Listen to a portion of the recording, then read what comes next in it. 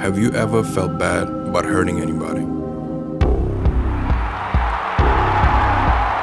I broke a guy's orbital bone. His confidence was never the same, but if they could do it to me, they would.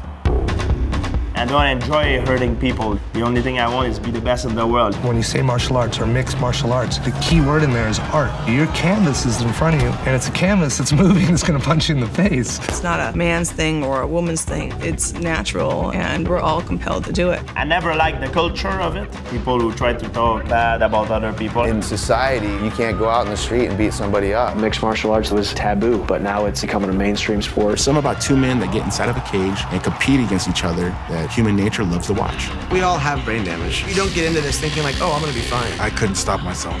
I live by the sword and I die by the sword. You only get one brain. Will I be able to be there for her? I get people crying in my office, thinking their life is over because they've lost a really big match. I've even worried about a few people suicide. For a boxing match, you're essentially only using two weapons. We're really total body weapons.